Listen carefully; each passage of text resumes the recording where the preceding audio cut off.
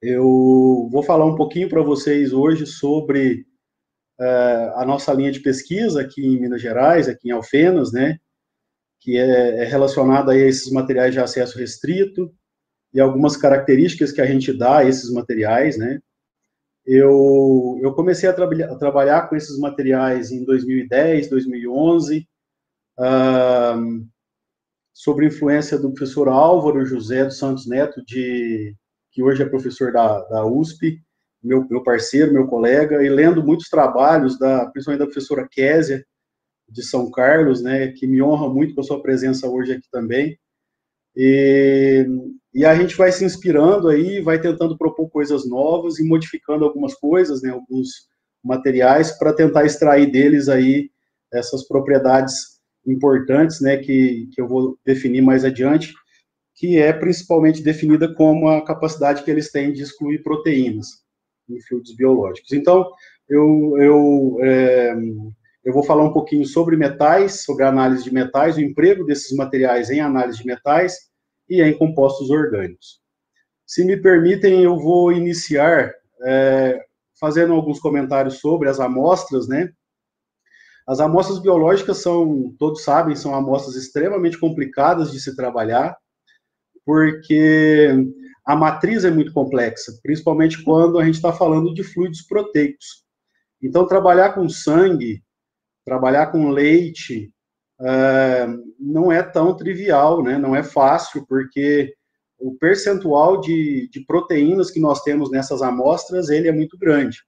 Assim como nós temos problemas diversos com outras amostras biológicas. Por exemplo, se eu trabalho com urina, eu tenho pouca proteína, né? É esperado que eu tenha pouca proteína, praticamente nada, mas aí eu já tenho outros problemas analíticos que, é, que, tá, que estão relacionados a grande quantidade de metabólitos de, de fármacos e substâncias endógenas e aí por aí vai. Uh, hoje eu vou me ater mais especificamente aos fluidos proteicos, né, principalmente a sangue, leite e alguns tecidos que foram alvo aí dos nossos estudos nos últimos anos. Eu não sei se alguém já teve, se a maioria de vocês já teve oportunidade de precipitar proteína de, de plasma humano, por exemplo, e é uma coisa que nos assusta, né? Se você pega aí um tubo de ensaio com uns 3 ml de plasma humano e pinga ali um agente precipitante de proteína, você vai ter pelo menos um terço do tubo, depois de centrifugado, vai ser precipitado de proteína. Então, a quantidade de proteína que nós temos aí nessas amostras é uma, uma coisa muito grande, assim, uma quantidade muito grande.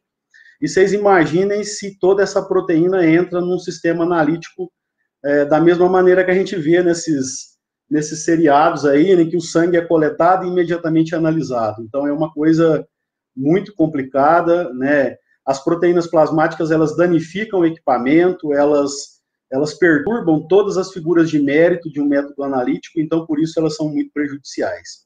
Então, eu vou me ater mais especificamente nessas amostras hoje, que são as amostras, é, essas amostras biológicas que têm alto teor de proteína e que foram alvo do estudo assim do, do nosso grupo ao longo desse tempo. É, eu vou, então, quais seriam os grandes objetivos? Esses estão muito claros para todos nós, né? Quando se trata de amostra biológica, é eliminar a matriz, que é muito complicada, deixar ali os analitos livres para serem analisados de uma maneira mais tranquila e menos com a presença de menor presença aí desses interferentes e concomitantes em linhas gerais, é, mas também eliminar interferentes menores, né, não só interferentes macromoleculares como proteínas, mas também eliminar alguns interferentes menores. Aí eu posso usar um material seletivo, por exemplo. E em alguns casos eu também utilizo o preparo de amostra porque eu simplesmente tenho uma detectabilidade que é insuficiente com o método analítico, e por esse motivo eu preciso concentrar esses analitos aí para é, que eu consiga analisá-los dentro da faixa analítica que eu tenho, né, da faixa de trabalho. Então, uh, eu queria uh, falar um pouquinho, de maneira bem rápida para vocês, sobre esse paralelo entre análise de analitos orgânicos e analitos inorgânicos que é também um tema, né? São, são, eu vou abordar um pouco sobre esse, essas duas modalidades de análise. E eu só queria relembrar alguns pontos importantes que vão ser importantes aí também adiante quando eu fizer alguns comentários sobre os trabalhos. Bom, os analitos orgânicos, né, a, os metais, quando eu me proponho, por exemplo, a analisar um metal em sangue, em, um derivado, em plasma, em soro, eu olho para aquela amostra e eu vejo ali uma grande quantidade de, de proteína, assim como outros interferentes, uma matriz orgânica complicada, e na maioria das vezes eu corro atrás de processos para degradar essa matriz orgânica usando força. É mais ou menos assim que eu trabalho quando eu penso em analitos inorgânicos. Eu uso processos de mineralização com agentes oxidantes fortes, como ácidos, peróxido, uso pressão, uso temperatura, e com isso tudo eu consigo degradar essa, matriz, essa matriz orgânica. Eu mando embora, vira CO2 e água e tchau. E daí eu tenho esses analitos depois, esses metais lá no fundo do frasco, eu vou ressolubilizar esses elementos no meio propício para se promover a análise e vou analisar. Aqui tem um ponto interessante no processo de mineralização. O primeiro deles é que é um processo um pouco mais complicado de ser executado. Normalmente, os ingressantes dos laboratórios, eles os orientadores não, nem deixam eles mexerem muito com mineralização no início, né? Precisa pegar um pouco de prática, ver outras pessoas trabalhando, porque manipula-se ácidos concentrados e se trabalha com sistemas aquecidos. Uh, então, não é um procedimento tão trivial assim, né? E precisa aí de um pouco de cuidado. Uma das grandes vantagens desse processo é que eu posso usar a força que eu quiser, que eu não vou degradar esses metais, né? Então, eu olho para a matriz, vejo os metais, aplico uma força extrema, destruo matriz orgânica e ainda vou ter ao final do processo os meus metais lá no fundo, só para diluir e analisar. E além disso tudo, eu tenho uma recuperação de 100%, ou próxima, porque todos os metais que eu tinha no início, se eu não os perder por volatilização, ou por inabilidade no, na manipulação de todo esse, esse preparo aí, eu vou ter 100% dos analitos lá no final do processo. É assim que normalmente acontece. E aí, quando eu vou para a calibração, eu preparo padrões aquosos, né? Eu vou analisar chumbo em sangue, então eu preparo padrões de chumbo em água, em ácido, né? Em meio ácido, e simplesmente submeto esses metais, esses padrões à análise vou ter lá as respostas analíticas e construo uma curva de calibração. Quando eu tenho uma amostra, o que eu faço é pegar essa amostra real, por exemplo, um sangue humano, que eu queira analisar o chumbo, eu vou submeter essa amostra à mineralização, vou ter como resultado os elementos ali no final do processo, eu vou ressolubilizar e vou substituir a resposta analítica que eu tive lá na equação e eu vou obter aí um resultado final confiável. O processo mais simples é esse. Normalmente se faz assim, né? Agora, quando eu saio da, da, do campo aí dos analitos inorgânicos e entro no campo dos analitos orgânicos, eu já tenho que pensar de uma outra maneira. Por quê? Porque, nesse caso, eu tenho analitos que se degradam com facilidade. Então, aquela mesma energia que eu tinha lá no início, eu de maneira nenhuma posso utilizá-la agora para preparar a amostra, porque obviamente que eu vou degradar a matriz orgânica, mas também vou degradar os meus analitos de interesse. Por esse processo, por esse, por esse, essa, esse ponto, eu tenho então que realizar um preparo de amostras mais suave, né, em que eu consiga uh, eliminar essa matriz? Não, mas o que eu consigo é separar essa matriz dos meus analitos de interesse e pôr esses analitos em um meio em que eu consiga quantificá-los com eficiência. Nesse caso, eu uso os processos de extração. Eles são 100% eficientes? Eles não são 100% eficiente, eficientes. Na grande maioria dos casos, quando eu me proponho a fazer uma extração líquido-líquido para tirar uma molécula orgânica de sangue, de plasma, soro, que seja, e passar ela por um solvente orgânico para eu analisar por HPLC, eu muito dificilmente vou ter extrações aí da ordem de 100%. Então, as recuperações são menores. não é um processo exaustivo, como ocorre no caso do preparo de amostras para análise de metais. Nesse caso, a estratégia experimental é diferente, porque daí eu vou ter que preparar os padrões em, um, em cima de uma amostra, eu vou fazer o que nós chamamos de curva biológica, né?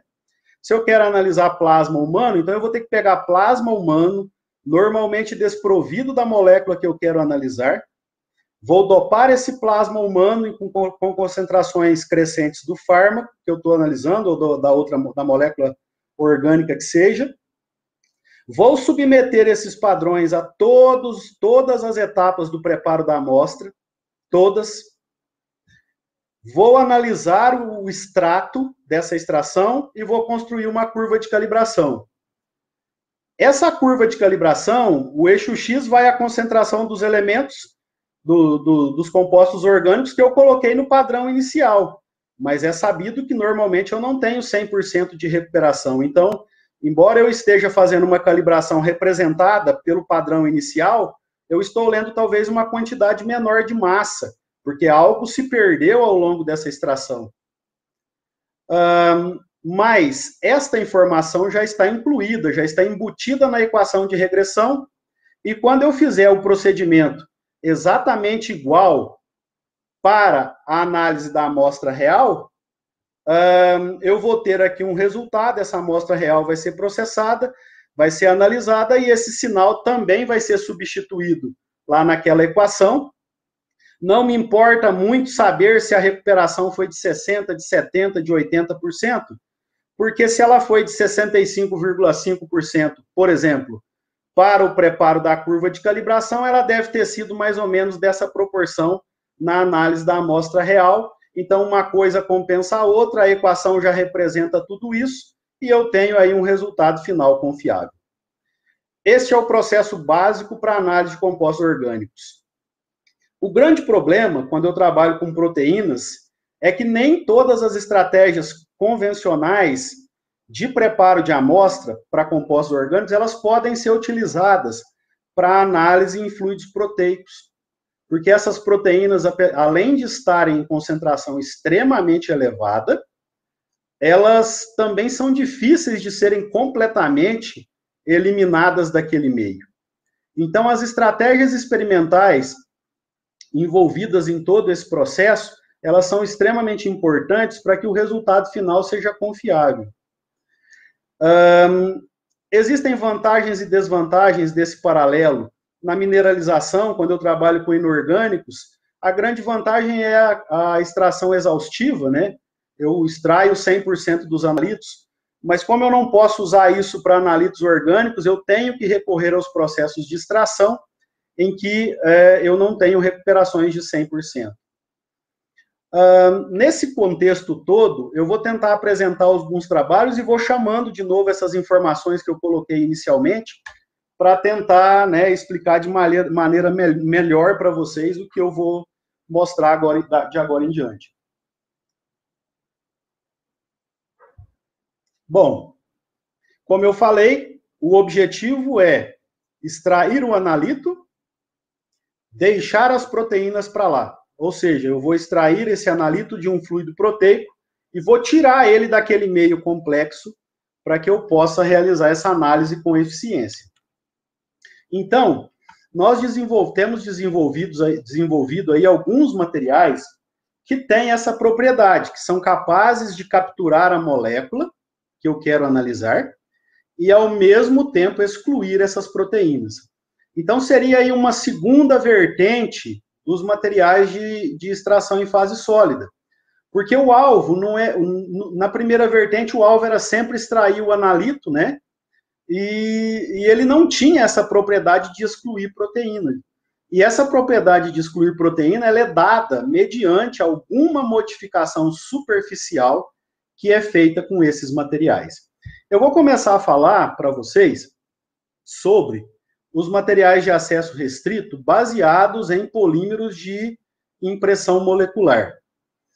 Eu acredito que a maioria de vocês já deve ter ouvido falar um pouquinho sobre os polímeros de impressão molecular, que são polímeros sintetizados no laboratório, e que apresentam sítios seletivos de reconhecimento para uma dada molécula. Como que esses materiais são obtidos, né, de uma maneira bem rápida? Eu, digamos que eu queira preparar um, um, um polímero de impressão molecular seletivo a essa molécula amarela, o template. Para preparar esse polímero, eu vou pegar esse template, vou colocar em um meio reacional junto com monômeros funcionais, que também são escolhidos né, para serem complementares a esse template. Tem toda uma, uma sequência lógica para a seleção desses reagentes.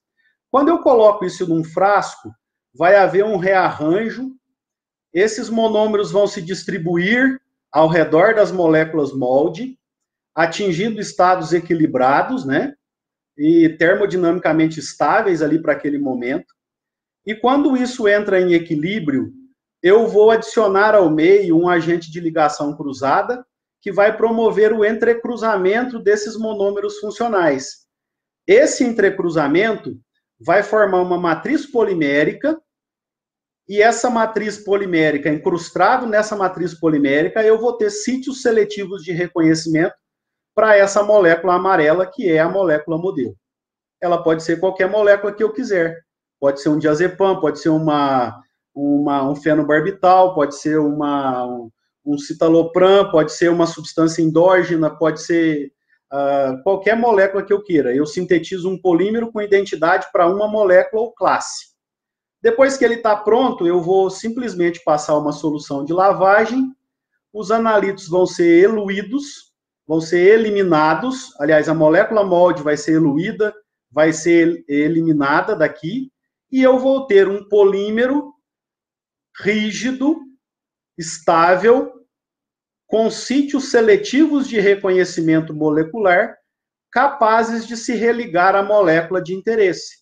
Se eu pegar esse material colocar numa amostra que tenha essa molécula aqui, o fármaco, uh, o template, essa molécula vai se ligar a esses sítios de reconhecimento molecular e uh, eu vou, né, então, promover aí uma extração. O complicado é que os MIPs, como tradicionalmente são preparados, se eu colocar esses materiais em um fluido proteico, as proteínas plasmáticas vão começar a se aderir na superfície, uma a uma, né? E vai se formar aí um emaranhado de coisas, uma corona aí, uma, uma, uma sequência de proteínas justapostas, de maneira não é, controlada, que vai impedir que esses sítios de reconhecimento sejam capazes de é, capturar as moléculas de interesse. Então, colocar esse material num fluido proteico é problemático. E desse princípio é, surge, é, não especificamente para polímeros de impressão molecular, né, mas para outros materiais, porque os materiais de acesso restrito antecedem, inclusive, é, esse, esse material de acesso restrito que eu estou falando, na base de polímero de impressão molecular, mas o que ocorre é que há um tratamento, né, eu promovo um tratamento superficial desse material, ou de qualquer outro material adsorvente que eu queira converter num RAM, no material de acesso restrito, e essa, essa, esse tratamento faz com que o resultado seja um polímero de impressão molecular que tem uma superfície externa protegida e que é incapaz de absorver proteínas em um momento de extração. Isso seria os, unir o útil ao agradável, que seria um, um material que é seletivo para uma molécula e que, ao mesmo tempo, exclui proteínas, que normalmente grudam em quase tudo, né? E daí surgiu, né, o conceito de polímeros de impressão molecular baseado, é, de acesso restrito, né, baseado nos conceitos anteriores de materiais de acesso restrito. O primeiro trabalho foi proposto pelo professor Aguinaga, é, eu sinto muito, eu esqueci de colocar aqui a referência dele, mas é importante frisar isso. E uh, esses materiais têm propriedades muito interessantes no preparo da amostra. Então, imaginem, esse é um exemplo, é, é, inclusive é um gráfico abstract de um, de um trabalho, mas imaginem vocês que eu tenho aqui no centro um polímero de impressão molecular de acesso restrito, as bolinhas amarelas, as estrelinhas amarelas, elas representam analitos de interesse, Os pontinhos vermelhinhos ao redor do material são grupos hidrofílicos, né, que são inseridos aí através de monômeros hidrofílicos. E aqui eu tenho um fluido proteico, uma amostra de proteína. Imaginem que eu tenho aqui um material de acesso restrito. As bolinhas vermelhas são os pontos hidrofílicos. Eles têm grupos hidrofílicos que podem ser ionizáveis. E aqui eu tenho um fluido proteico, que é uma proteína é, e nessa, nesse meio eu tenho a molécula que eu quero analisar, de baixo peso molecular. Se eu trabalho com isso num pH que é maior que o ponto isoelétrico dessa proteína, e também capaz de ionizar esses grupos que estão aqui nesse material, o que vai acontecer é que a proteína vai apresentar grupamentos ou cargas negativas superficiais, e ao mesmo tempo esses, esses monômeros hidrofílicos podem também estar carregados, dependendo da situação. Então, quando essa amostra flui através desse material, as proteínas são repelidas eletrostaticamente falando, enquanto que os analitos de baixo peso molecular são capturados. Depois que eu faço essa extração, eu passo um eluente por esse material, os analitos são desgarrados, né, são, são, despro, são é, desligados, melhor dizendo, aí, desse material, e são arrastados para um equipamento de análise, onde eu vou ter uma análise qualquer aí por massa, por HPLC, é, e assim vai. Então, é um, um, procedimento básico em que eu consigo trabalhar com fluido biológico direto aqui nesse material, né? E ele tem uma extração eficiente. Se eu tivesse usando um, um MIP que não tivesse essa proteção hidrofílica, muito provavelmente ele ia ficar obstruído pelas proteínas iria causar, que iriam causar problemas aí muito importantes em, no, no, sentido de seletividade e pior aí de algumas figuras de mérito. Então, o funcionamento básico é esse. Esse foi um primeiro trabalho do grupo, esse foi um primeiro, não, foi o, o primeiro trabalho do grupo, né? Com materiais de acesso restrito. Esse trabalho é de 2013, foi desenvolvido pelo Gabriel, que na ocasião fazia mestrado, em que nós propusemos né, uma, uma variante aí dos materiais, dos polímeros de impressão molecular de acesso restrito, que já existiam na literatura e que é, foram modificados por uma estratégia experimental que também já existia na literatura, é, e que normalmente era utilizada para sílica, né, para obtenção de material de acesso restrito baseada em sílicas né, modificadas. É, o objetivo aqui era analisar clorpromazina em plasma humano por um sistema totalmente online. Então, o objetivo era colocar lá no autoamostrador do HPLC plasma humano não tratado. Esse era o objetivo. E aí o equipamento tinha que promover o preparo da amostra online e, ao mesmo tempo, fazer ali a separação analítica e a detecção do analítico. Então, é, esse trabalho, ele empregou uma estratégia experimental é, um pouco diferente, modificada, eu acho que é a melhor palavra, em relação ao que existia na literatura, que era é, a síntese de um polímero para clorpromazina, né? Então se empregou aí monômeros hidrofílicos, é, monômeros funcionais, clorpromazina, o, o polímero foi sintetizado, então sintetizou-se o MIP, e após a síntese do MIP, é, empregou-se aí dois agentes, dois monômeros hidrofílicos, que foi RIMA e GDMA, e esses monômeros foram incorporados na superfície, foram polimerizados na superfície, obtendo-se assim um RAM, né, como o que já existia na literatura. Aí nós obtivemos esse material e percebemos que ele ainda não estava tão eficiente para excluir proteínas. Porque quando a gente fala de proteína plasmática, se eu tiver aí 80% de exclusão, pode parecer um número elevado, né, um número bom, mas para proteína plasmática não é tão bom assim, porque 20% de proteína plasmática não excluída ainda é muita proteína, muita proteína, que pode entrar no sistema analítico.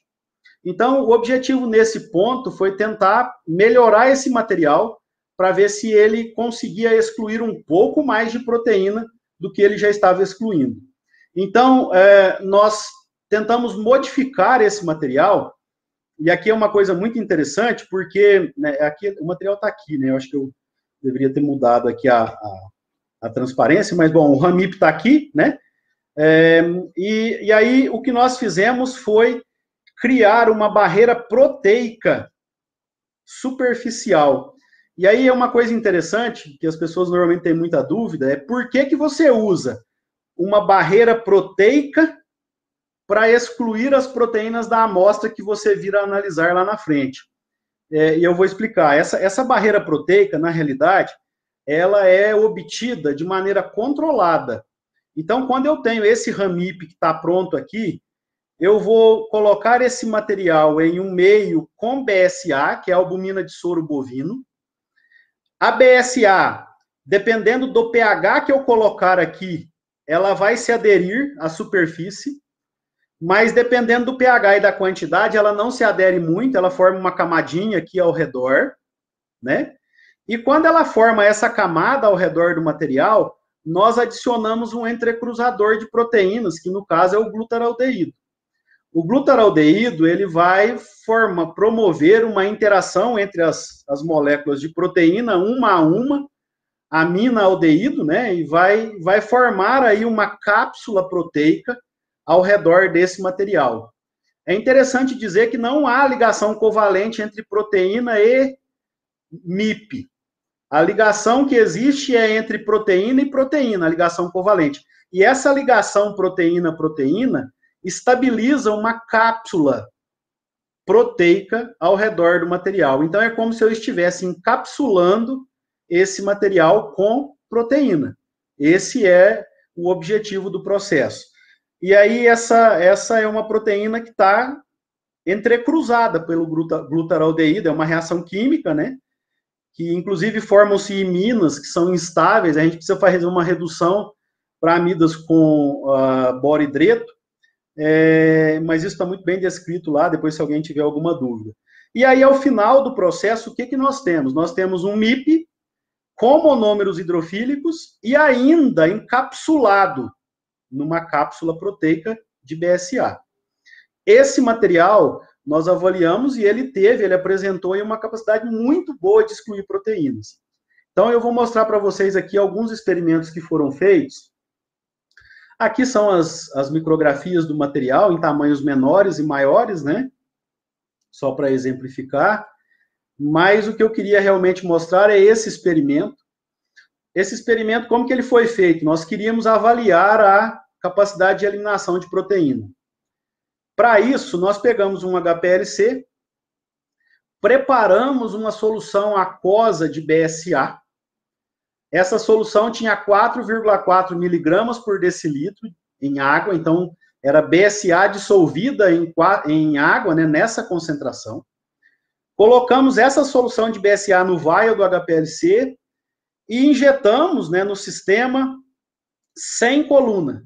Era um sistema sem coluna. É óbvio, a gente usava um equipamento que não era utilizado especificamente para análise química, a gente tinha medo dos entupimentos, mas funciona super bem esse sisteminha. E quando a gente injetava num sistema sem coluna e fazia uma medida no UV em 200 e poucos nanômetros, a gente estava medindo a proteína, né? Então, toda a proteína que era injetada, é, empurrada aqui pela bomba, através desse, por esse loopzinho aqui, ela era injetada, toda a proteína chegava no detector e dava um pico. E esse pico representava toda a massa de proteína que foi injetada. Quando a gente colocava, pegava o mesmo sistema em B, nós colocávamos aqui uma coluninha C. E essa coluninha C, ela era, era uma pré-coluna de HPLC, que nós tirávamos ali o material dela, né, o C18, por exemplo, dela, e preenchíamos essa coluna com o RAM, é, um RAMIP que nós tínhamos sintetizado. E aí, quando a gente colocava essa coluninha no sistema, injetávamos novamente a mesma solução de BSA e monitorávamos o que saía aqui no detector UV. E, por exemplo, nesse caso, as áreas dos picos eram praticamente idênticas, né? O que comprovava que quase toda a proteína que era injetada por aqui atravessava a coluna sem ficar retida, comprovando a grande eficiência desse material em excluir as proteínas plasmáticas. Então, esse era um estudo de exclusão. É, é possível também fazer esse estudo usando outros artifícios, como reagente de Bradford, quantificar as proteínas também, mas os resultados são bem parecidos. E com isso, nós comprovamos que esse material tinha uma boa capacidade de excluir proteínas. Eu não coloquei aqui, mas o material não MIP, o não recoberto, seria o MIP convencional. Se a gente colocar um MIP convencional nessa coluna e fluir a proteína por ele, através dele, é, ele vai ter aí uma capacidade de eliminação da ordem de 15, 20% no máximo. Ou seja, grande quantidade da proteína que é injetada ficaria retida nesse material não não revestido, né, nesse MIP convencional. E daí a gente tem todas as, as configurações desse trabalho aí. Um, aqui são os resultados, ó, vejam, esse é, um esse é o sisteminha, né, o column switching, eu vou explicar ele rapidamente, mas é, são duas válvulas de injeção, a amostra é, é amostrada num loop L, né, depois esse loop joga essa amostra para a coluna C1, que é o material de acesso restrito, o, a, os analitos são retidos, no caso aqui era clorpromazina, que é um antipsicótico, e as proteínas são mandadas para um descarte. Quando essa válvula 2 vira, ela coloca essa coluna na linha de baixo. Então, a bomba B vai eluir os analitos, né, que estão retidos nessa coluna, eles vão ser cromatografados e analisados aqui no detector D. Esse é um cromatograma para análise de plasma humano. A gente colocava o plasma direto lá no autoamostrador do equipamento, sem tratamento nenhum. Aqui é um branco e aqui são concentrações crescentes aí da clorpromazina. Foram feito também um estudo de seletividade que, que comprovou que mesmo revestindo o material, ainda ele ainda apresentava a seletividade característica de um MIP, né? para aquela aplicação, então isso era muito interessante também, que revestir, você perdia um pouco, mas você não perdia 100%, então ele ainda era um MIP, ele ainda era capaz de é, capturar seletivamente uma molécula. Aí, bom, diante disso, um, essa é a Mariane, minha aluna de, foi minha aluna de, de doutorado, de mestrado e doutorado, e aí, nessa ocasião, nesse momento, a gente começou a, a perceber né, que existiam aí quatro possibilidades de RAM NIP base, baseadas no que existia, no que a gente estava desenvolvendo e algumas coisas da literatura. Então, a Mariane fez um trabalho comparativo em termos de seletividade e exclusão de proteínas. E o que, que ela fez? Eu vou passar aqui que fica mais fácil de explicar com essa transparência. Nós sintetizamos um MIP. Esse MIP nós é, ligamos monômeros hidrofílicos e obtivemos um RAM-MIP. Pegamos o mesmo MIP e revestimos por BSA. Na, na, nesse trabalho, nós chamamos ele de MIP-BSA, mas ele é um RAM também, né? Teoricamente, ele vai ter capacidade de excluir proteína, como vocês vão ver. Mas até acho que nós fomos infelizes na época quando demos esse nome para ele. A gente poderia ter chamado ele de RAM 1 e RAM 2, RAM 3, por exemplo mas é, era um MIP revestido com BSA, um MIP revestido com monômeros hidrofílicos, e uma terceira possibilidade, que é um MIP revestido com monômeros hidrofílicos e também encapsulado com proteína. E aí nós fomos avaliar a performance desses quatro materiais, quanto à seletividade e quanto à capacidade de excluir proteína. Quanto à seletividade, eu já afirmo para vocês que não houve diferença tão significativa embora tenha havido um pouco de perda de seletividade quando eu faça, fazia essas modificações, ele ainda apresentava coeficientes de seletividade que eram usuais aí para o trabalho com MIP. Então não se perdia tanta seletividade. Ele ainda era um MIP. Agora, o que mais interessante nós testamos, ao meu ponto de vista, foi a capacidade de exclusão de proteínas. Porque aqui nós temos um mecanismo excludente, que é o monômero hidrofílico, Aqui nós temos um mecanismo que é a, a cápsula proteica, e aqui nós temos os dois mecanismos associados. E a gente queria ver se isso era é, resultaria aí numa melhor capacidade de excluir proteínas. Então eu vou pular aqui algumas transparências, gente, por conta do tempo. Ah, isso aqui são só as micrografias, né? Dá para ver aí que não há muita diferença, diferença tão significativa. A única coisa é que os, os MIPs, os polímeros revestidos com BSA, Normalmente eles são mais arredondadinhos aí, tá vendo? Parece que o BSA dá uma corrigida aí né, na forma deles. Eles ficam um pouquinho mais redondinhos, né? Como a gente pode ver aqui. Uh, aqui são alguns resultados de adsorção e de seletividade. Eles apresentaram sim seletividade, como eu falei para vocês, mas o resultado que eu queria apresentar era esse, que eu acho que é um dos mais interessantes do trabalho. Quando eu usava MIP, testando a, aquela exclusão de proteínas, igual aquele procedimento anterior, lá com HPLC, sem coluna e com coluna, quando a gente colocava a coluna MIP convencional, a exclusão de proteínas era de 14,7%.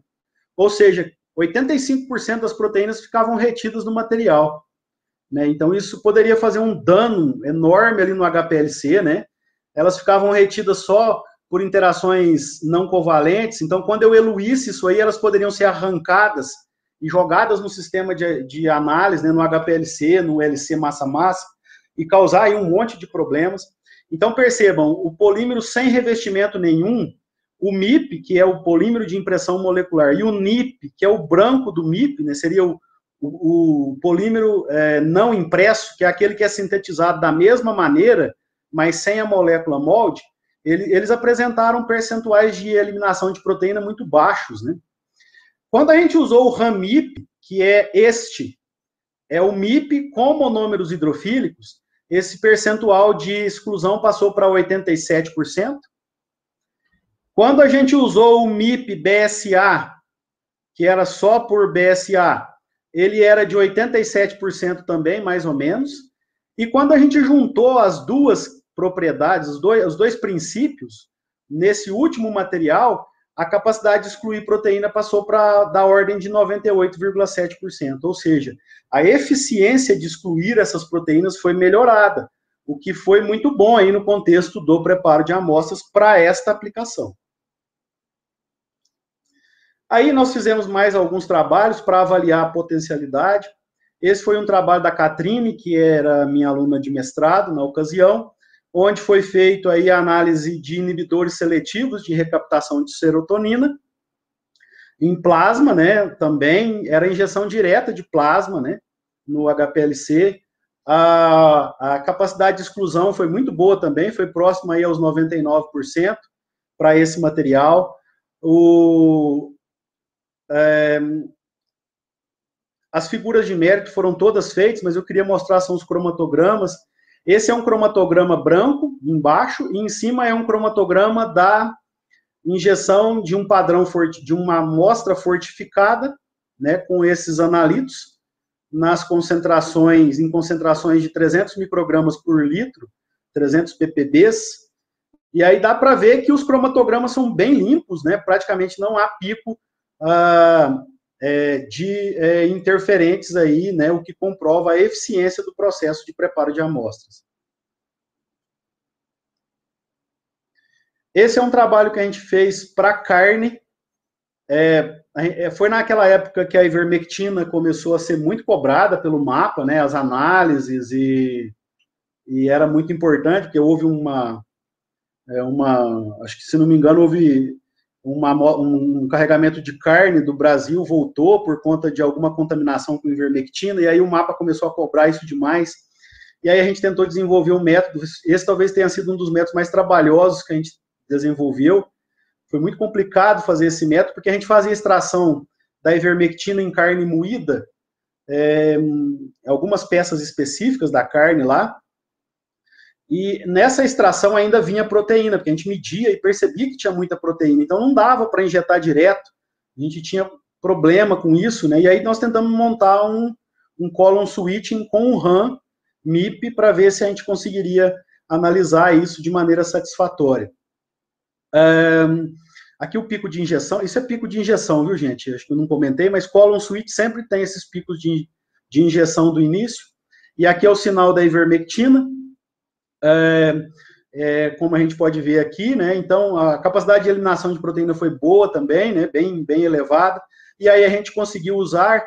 E é engraçado que quando a gente usava essas colunas no, no sisteminha, a gente conseguiu usar elas muitas e muitas vezes sem a necessidade de fazer troca. Eu não me lembro exatamente quantas análises sequenciais eram conseguidas com uma única coluna, mas eu tenho certeza que dava para a gente fazer a validação e a validação completa do método sem precisar trocar essa coluninha. Então, a vida útil dela era bem grande nesse contexto, né? Uh, esse é um outro trabalho que a gente fez para tricíclicos, uh, para antidepressivos tricíclicos, e esse trabalho é um trabalho da Mariane. Esse outro trabalho que eu esqueci de comentar aqui era um trabalho da Marcela, que era minha aluna de, de mestrado. Esse é um trabalho da Mariane, é, onde a gente fez análise de triciclos e a gente tentou fazer uma análise direta, sem cromatografia. Embora a gente saiba que é muito complicado por causa de supressão iônica, mas a gente acreditava realmente que a seletividade do MIP atrelada a essa capacidade de excluir proteína permitiria que a gente fizesse uma análise quantitativa eficiente sem a necessidade de uma coluna cromatográfica. Então a gente queria mesmo era ver se isso era possível assim. Embora eu acredite que colocar uma coluna cromatográfica antes disso é só uma segurança e, é, e seria importante também, né? Se você tem essa opção. Mas a gente tentou fazer isso sem coluna para ver o que acontecia e o resultado foi bem interessante. Né? O que nós tínhamos era, era isso, é, aquela figura que eu mostrei lá atrás para vocês, né? a amostra era percolada, os analitos eram retidos aqui dentro, esse material era um material é, com cápsula proteica, os analitos eram retidos, depois eluídos e analisados diretamente no massas, né, em um sisteminha sem coluna. Então a gente avaliou aí efeito de supressão iônica para ver se tinha alguma coisa importante e a gente conseguiu quantificar bem esses analitos, né? Lembrando que são tricíclicos, com a estrutura química bem parecida entre eles, o que ajuda muito na captura pelos sítios seletivos de reconhecimento, né, do MIP, e por aí vai. Um, e aí os resultados foram bem satisfatórios, a validação foi completa também. Isso aqui é uma micrografia eletrônica, é uma transmissão, né? É bem interessante aí também nesse sentido. Aqui são os cromatogramas, embora eles tenham ficado, não tenham ficado tão bonitos, os picos, né, eles foram perfeitamente quantificáveis e reprodutíveis, né, tanto precisão como exatidão foram parâmetros muito bons aí. Lembrando também que a escala aqui está muito curta, né, então é por isso que eles estão um pouco largos aí também, mas são tão perfeitamente quantificáveis é, e, e estatisticamente aceitáveis aí. esse é, acho que o último trabalho dessa parte de, de MIP, que é um trabalho da Laila, que é minha, foi minha aluna de mestrado e doutorado, ela, ela fez esse trabalho no doutorado. Nós tentamos sintetizar uma fibra de SPME que apresentasse aí a, a capacidade de excluir proteína. Então, o objetivo principal era sintetizar essa fibra. É, o procedimento, a fibra é essa, vocês estão vendo aqui, isso aqui é uma, uma, uma pinça, né? Dá para ver aí as proporções. Isso é um vial de HPLC com um insert dentro. E aqui dentro eu tenho plasma humano, não tratado, né? Um plasma direto. Então essa fibra era mergulhada aqui e o que acontecia era o mesmo mecanismo, né? As proteínas, se eu percolasse as proteínas num pH maior que o ponto isoelétrico dessas proteínas, elas estariam negativamente ionizadas, por repulsão eletrostática elas seriam excluídas, e os analitos penetrariam aqui, seriam retidos dentro dos sítios seletivos de reconhecimento. A exclusão também foi muito boa, da ordem de 97%. Um, aqui eu pus o contrário, desculpe, essa transparência deveria estar antes, mas aqui é como que a síntese é preparada. A gente enchia um capilar vazio com uh, a mistura de polimerização, como está descrito aqui. A gente vedava esse, esse capilar, colocava no banho a 60 graus, e aí era uma reação radicalar, né? O polímero era formado aqui dentro, um monólito. A gente teve um problema sério aqui, porque a gente precisava de uma mistura que não gerasse um polímero vítreo demais, porque se ele fosse muito vítreo, é, se a densidade da rede polimérica fosse muito intensa, ele era quebradiço. Então a fibra quebrava com muita facilidade. E aí o que nós fizemos foi tentar estudar essa proporção até como conseguirmos uma fibra que fosse flexível e que se quebrasse com muita dificuldade. Depois dela pronta, a gente quebrava aqui o capilar, puxava ela lá de dentro, era um macarrãozinho, né? Colocava ela para tratar com BSA. Depois a gente tratava com glutaraldeído para entrecruzar. e com boridreto para reduzir as iminas. E aí a gente obtinha uma fibra RAMIP, que era utilizada para SPME. Esse trabalho foi usado para benzodiazepínicos, né? E aqui são as micrografias das fibras. E uh, a gente analisou esses seis padrões aqui, eles estão descritos aqui embaixo, eu não lembro muito bem, mas é diazepam, alprazolam, midazolam, diazepam, dentre outros. E dá para ver aí que o cromatograma está bem, bem interessante também. Né? Esse primeiro pico é pico de injeção do column switching. Ah, não é do column switching, é o pico de injeção do sistema, porque a eluição era feita num solvente um pouco diferente da fase móvel, então dava esse pico mesmo de injeção. Um, e esse último trabalho é um trabalho da Tássia para é, análise de nicotina e nicotinina, e aqui o que a gente fez foi pegar essa tecnologia que a gente tinha desenvolvido com BSA e fizemos uma modificação simples que foi inserir aí um núcleo magnético para fazer com que esse RAMIP se tornasse um RAMIP magnético, né, e tivesse suscetibilidade magnética capaz de permitir que extrações em fase sólida dispersiva fossem executadas. É plasma humano da mesma, da mesma forma, e aí ele estava extraindo nicotina dessa amostra de plasma, as proteínas eram eliminadas, a gente eluía depois né, desse material e fazia a análise cromatográfica né, desse material também. Os resultados foram muito interessantes também, e a facilidade do processo né, de se utilizar aí esses materiais com suscetibilidade magnética, o que permite você fazer uma DSPE, que é uma extração em fase sólida dispersiva, em que você elimina um monte de problema, né? Porque quem trabalha com column switch sabe aí dos problemas, do, dos entupimentos, das altas pressões do sistema. E aqui não, a gente faz o preparo com a, a, a, o adsorvente direto na matriz, depois a gente separa ele com o ímã, e tudo funciona muito bem aqui, né? E é uma linha bem interessante aí, uma modalidade bem interessante para a MIP também. Um, aqui são os resultados, essa é a figura, né? Dá para ver aí a porosidade do material e tudo mais. E aí vai. Bom, é, esses, diante aí desses resultados, a gente começou a trabalhar com outros materiais no grupo.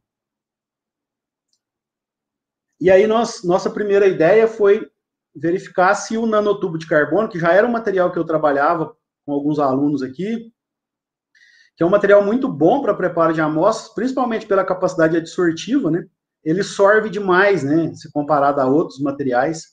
Área superficial grande, capacidade de retenção boa demais, capacidade adsortiva muito boa. E aí nós nós tentamos trabalhar com esse material para fazer ele ser convertido em um RAM.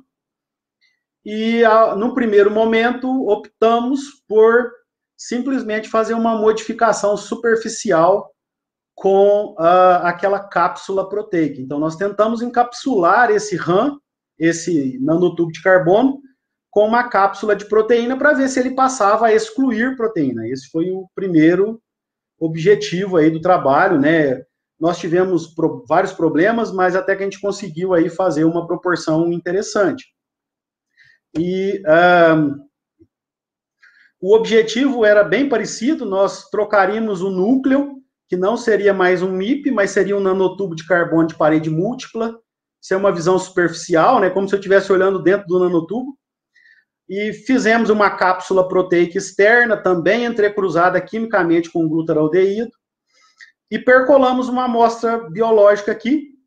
Quando a gente percolou essa amostra biológica, por exemplo, se a gente quisesse. Primeira aplicação que nós começamos a fazer foi para metais. A primeira de todas as aplicações foi para cádmio, Aqui está um exemplo de chumbo, né? Também, nós fizemos cadmio e chumbo, né? Aliás, e aí é, a gente passava o fluido biológico, o chumbo era retirado dessa, dessa amostra biológica, era ligado aqui no nanotubo. Depois a gente descobriu também que havia ligação nas próprias proteínas, porque o chumbo tem afinidade por proteína também, né? E a proteína era eluída. E aí, o que a gente queria com esse procedimento era evitar a mineralização. E aí eu volto lá atrás naqueles conceitos que eu passei para vocês, é, e dos problemas que a gente tem em fazer mineralização, né, que é um procedimento demorado e que é, tem aí um certo risco aí para o analista e um consumo talvez um pouco alto de reagentes. Então a gente queria tentar usar esse material para eliminar a necessidade de mineralização em uma análise simples, por fase convencional, é, por absorção atômica com chama. E aí o que nós fizemos foi é, sintetizar esse material e fizemos aí duas aplicações para chumbo e para cádmio. É, só um segundo. É que está passando um helicóptero aqui, gente. Aqui no interior tem helicóptero também. É, bom, então voltando aqui, é, essa é uma aplicação para cádmio e para chumbo. E é, nessa aplicação, nós temos aqui, esse trabalho foi desenvolvido pelo Adriano e pela Valéria, é, fazendo uma correção lá atrás, aquele trabalho, o último trabalho que eu apresentei de MIP foi desenvolvido pela Tássia, que hoje é minha aluna de doutorado, mas fez mestrado comigo também. E esses dois trabalhos foram desenvolvidos pelo Adriano e pela Valéria, né, que é, já terminaram também. Então, é, foram feitos aí trabalhos para cádmio e para chumbo usando o mesmo material. A gente conseguiu também proteger esse material aí, né, esse nanotubo de carbono, e o procedimento foi bem simples. Ah, aqui antes, eu queria mostrar essas micrografias bem interessantes. Isso aqui é, é varredura, e esse aqui é a transmissão, da, da esquerda a varredura, da direita a transmissão, e dá para ver, olha, na esquerda, na, na, microscopia eletrônica de varredura, o nanotubo comum, dá para ver mais ou menos, acho que vocês conseguem ver, talvez, os filamentinhos aí de nanotubo, o emaranhado aí de nanotubo, e depois que ele é convertido, revestido por proteína, a gente vê basicamente uma massa densa, né, de material, e é interessante que tanto moléculas orgânicas quanto íons metálicos conseguem se difundir através dessa massa densa de proteínas e se ligar né, a esse material. Aqui com mais detalhes na transmissão, principalmente nas duas transparências de baixo, na esquerda nós temos o nanotubo convencional e na direita nós temos o nanotubo revestido com proteína. Dá para ter uma ideia aí da, da, da, intensidade dessa cápsula proteica. Se você olhar aí com um pouquinho de força de vontade, dá para ver bem aí os nanotubos no interior, né? E as proteínas envolvendo esse pacote de nanotubos aí então, é uma proteção que a gente confere para eles que impede a aproximação de outras proteínas, né? Imaginem tudo isso aqui carregado negativamente e uma proteína da amostra carregada negativamente, então ela não consegue chegar aqui, né? E principalmente por repulsão eletrostática e por outros mecanismos também é, é, que podem ser elucidados. Isso aqui é um EDS que nós fizemos da transmissão, bem interessante, e esses pontinhos coloridos, é, esse, esse, azul mais intenso aqui da, da figura da direita, representa, a, é o raio-x do chumbo, né? Então, isso aqui é chumbo. Dá para ver que ele está bem concentrado nas regiões internas, mas ele também existe ali naquela região da cápsula proteica. Até porque o chumbo é um metal que tem alta afinidade por tecidos e por proteína, por eritrócitos, né, por células. Então, ele também se liga a esses componentes biológicos e ele também se liga à matriz de BSA. Então, eu diria que é um nanotubo que talvez contribua para a seletividade, porque grande parte do metal está mais no centro mesmo, mas a proteína também sorve esse metal.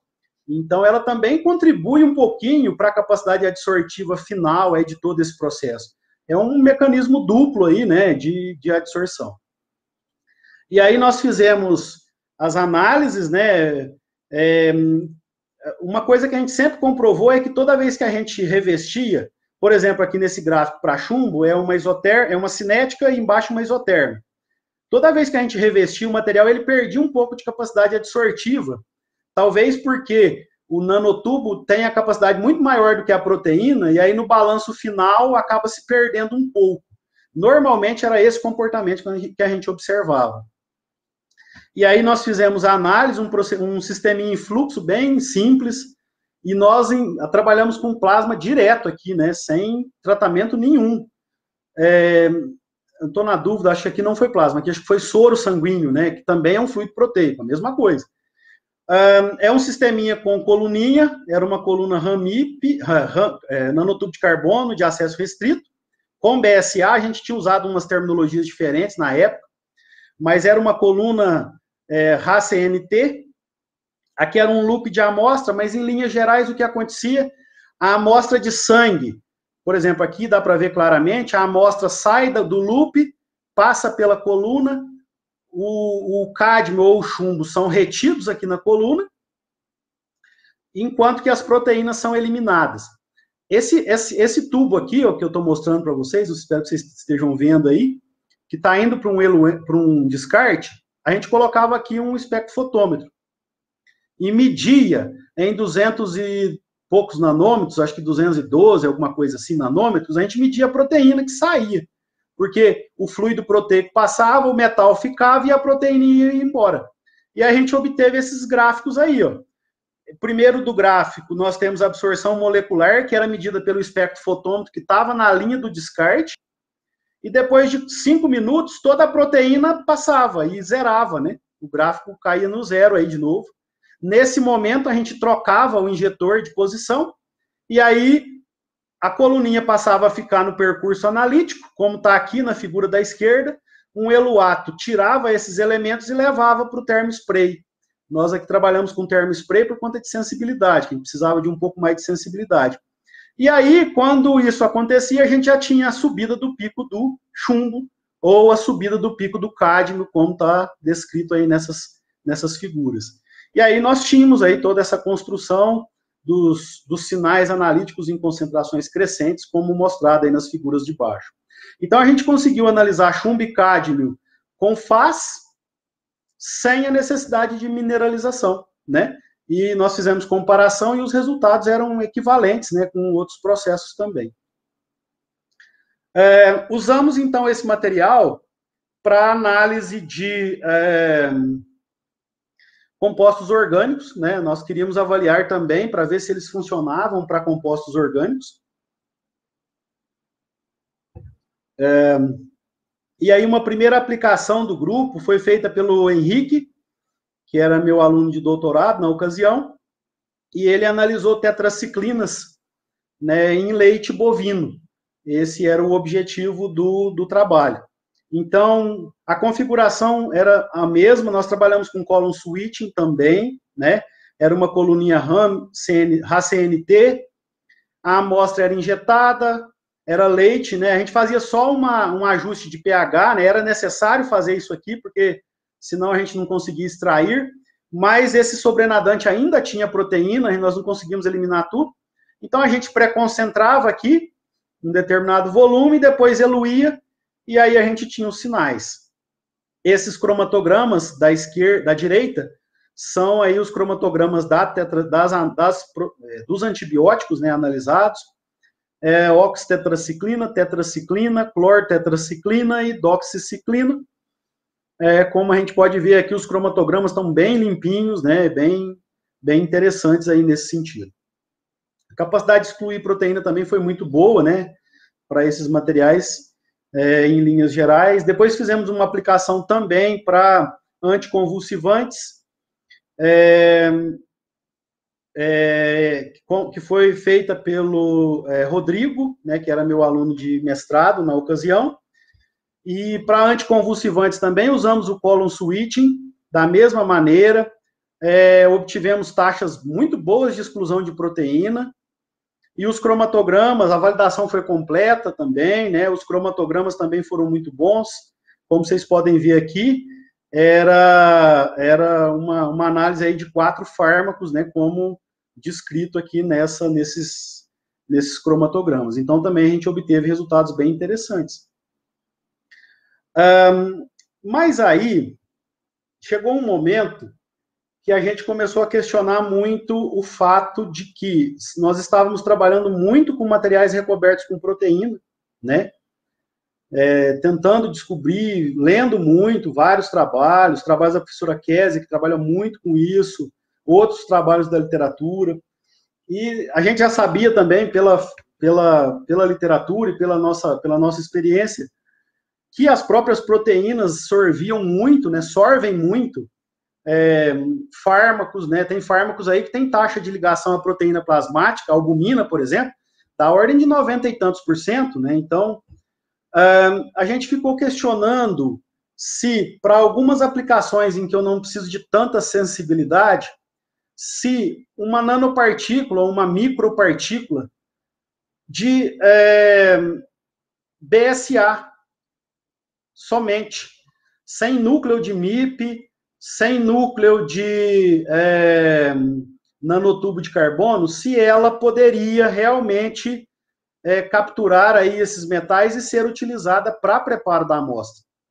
A gente viu na literatura que essas nanopartículas de BSA, elas já são muito utilizadas para sistemas de liberação controlada de fármacos, né?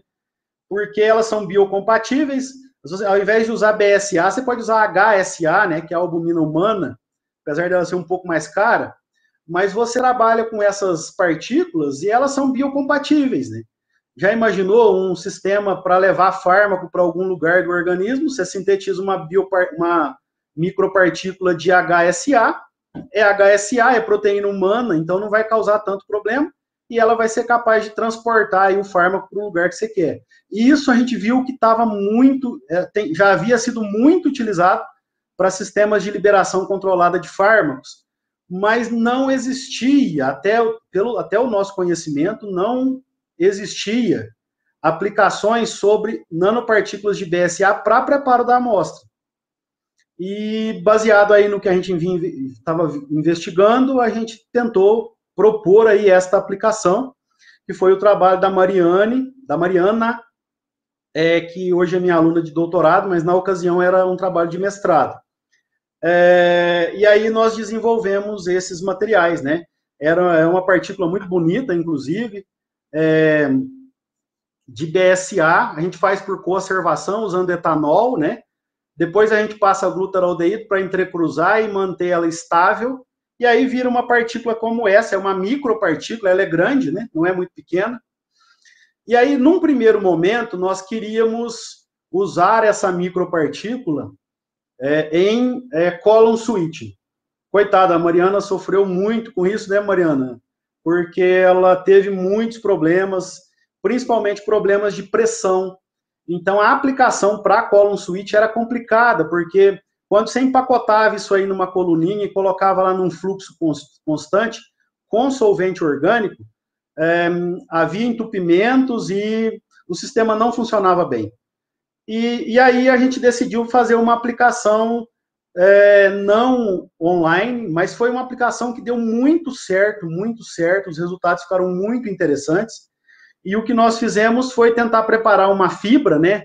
Eu não diria que seria uma microfibra, né? Seria uma fibra convencional mesmo, né? Não seria muito bem uma SPME, né? Seria uma escala um pouquinho maior, mas nós pegamos um capilar de hematócrito, esses capilares de hematócrito convencionais, e passamos uma cola epóxido na ponta desse capilar, um araldite mesmo, né?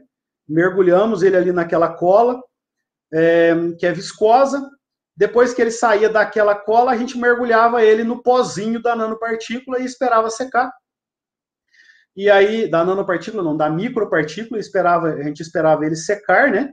E depois da secagem, a gente usava para fazer a extração. E funcionou super bem, né? Essa, e aí eu não tenho núcleo né, nesse material, eu não tenho nem núcleo de nanotubo e também não tenho núcleo de MIP, de ou qualquer outro material.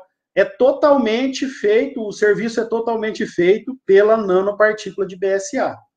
Eu fluí, nós fluímos a amostra, os analitos eram capturados e a, a proteína da amostra era excluída. Então, isso era uma partícula de tamanho controlado, tudo muito bem feito. Nós testamos para é, é, beta-bloqueadores, no caso, nosso, nosso, a prova de princípio foi feita com propranolol e atenolol, e nós escolhemos esses fármacos a dedo, porque propranolol é um fármaco que se liga quase que 90% à proteína plasmática. Não tenho exatamente o valor, mas é um valor alto.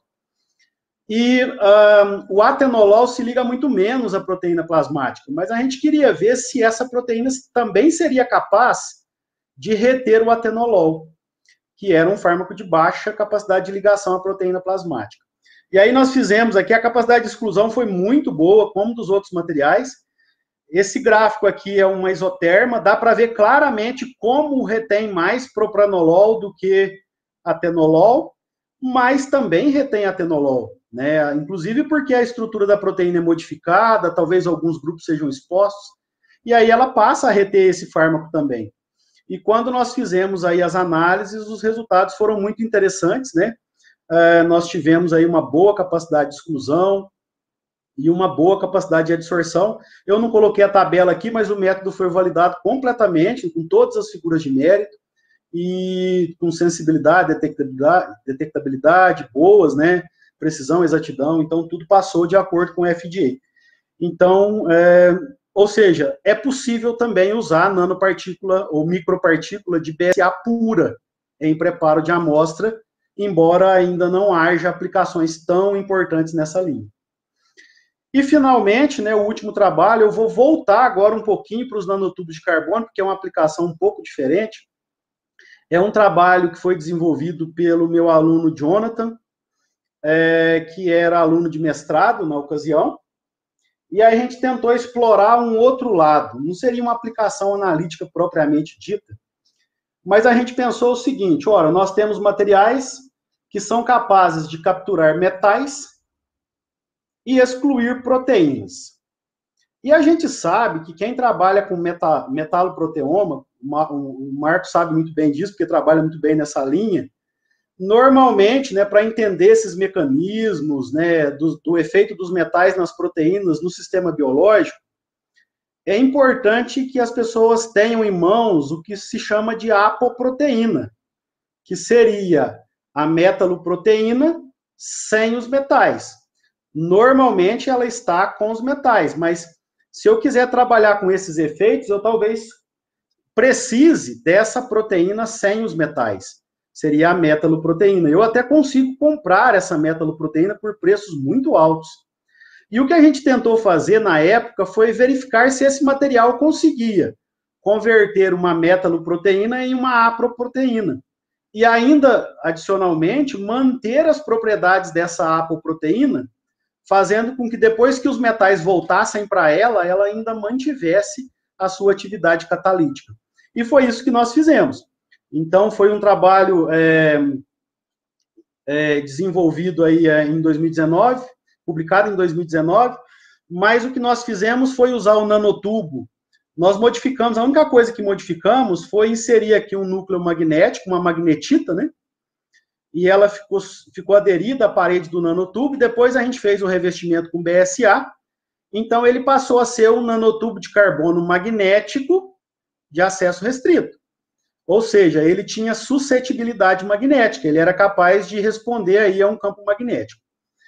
E aí a gente pegou, esse é o gráfico abstrato do trabalho, a gente pegou cobre, zinco, superóxido, dismutase, percolou cobre, zinco, superóxido, dismutase pelo material. Na realidade, nós não percolamos, nós colocamos num tubo de ensaio um pouquinho do material e colocamos lá uma solução aquosa de superóxido, dismutase num pH propício para não haver retenção de proteína.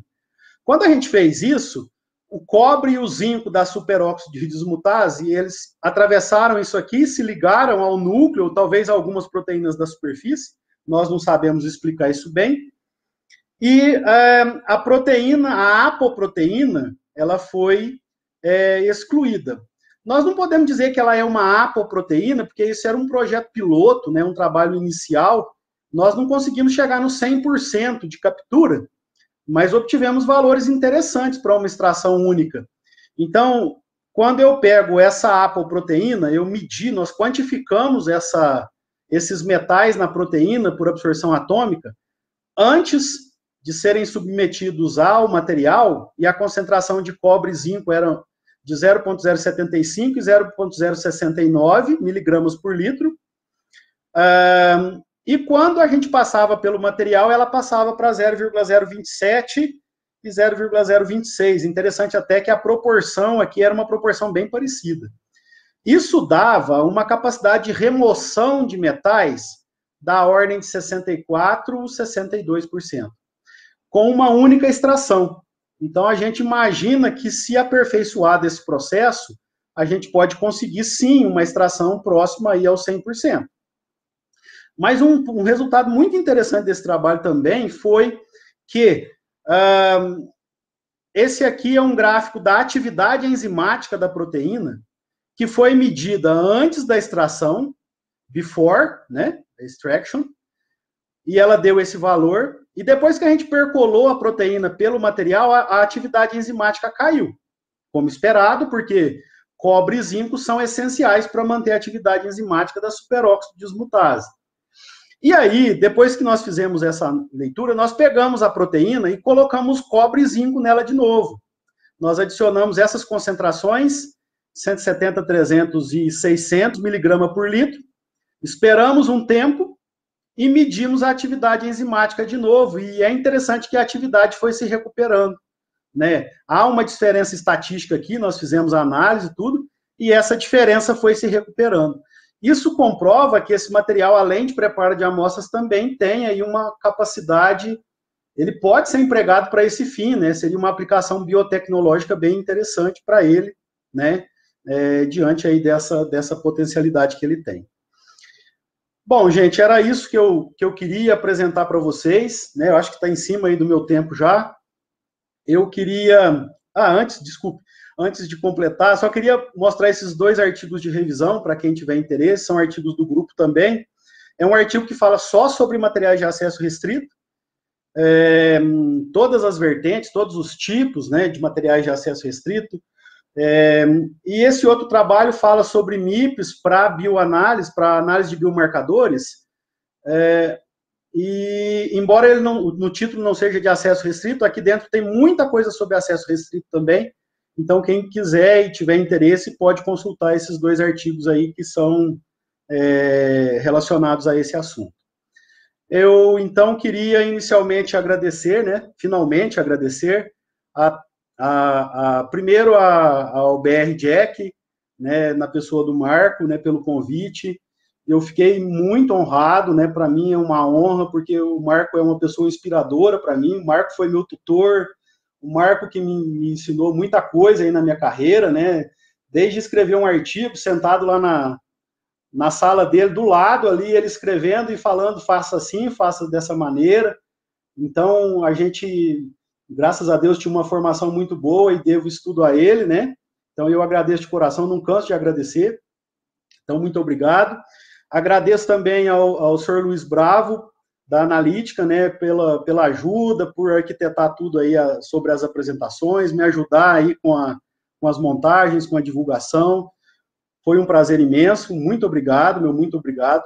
Agradeço a minha instituição, a Universidade Federal de Alfenas, que hoje a gente nem diz que a gente trabalha na universidade, a gente diz que defende a universidade, né? Porque hoje nós estamos em momento de defesa, então eu, eu defendo a Universidade Federal de Alfenas, tenho muito orgulho de ser dessa instituição e agradeço muito, né, a, a, a essa instituição, as agências de fomento, né, que, que de uma maneira ou de outra financiam as nossas pesquisas, ao CNPEM, ao LN Nano especificamente, por algumas análises, né, aos parceiros, né, que, que trabalharam com a gente aí nesses trabalhos, eu agradeço imensamente.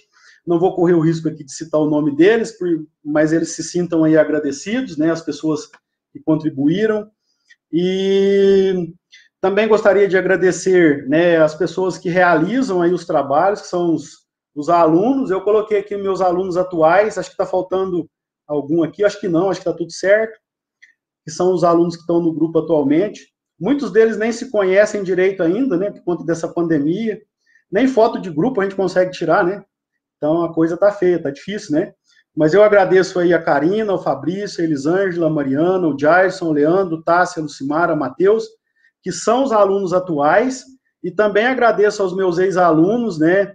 O André, a Graziele, Jonathan, Carolina, Rodrigo, Rafael, Lidiane, Valéria, Lissara, Catrine, Marcela, Laila, Mariane, Gabriel, Ayla, Giovana, Bruna, Adriana, Isabela, Trícia, João Carlos, Ana Cláudia, Thaís, Larissa, Bárbara, Rodolfo, Tamires e Carolina, né, que, que eu faço questão de falar o nome dessas pessoas, porque quem movimenta os grupos de pesquisa são os alunos, né, a gente vai só coordenando, nosso trabalho teoricamente é um trabalho fácil, né, mais, mais tranquilo, e quem carrega o piano são os alunos, são eles que fazem as coisas acontecerem. Então, eu agradeço imensamente aí a essas pessoas, e meu muito obrigado, eu agradeço é, mais uma vez a todos vocês pela presença, né, aos meus alunos, aos colegas que estão assistindo aí, um grande prazer, né, é, falar, eu vi, ter a possibilidade de falar um pouquinho aí para vocês. Muito obrigado.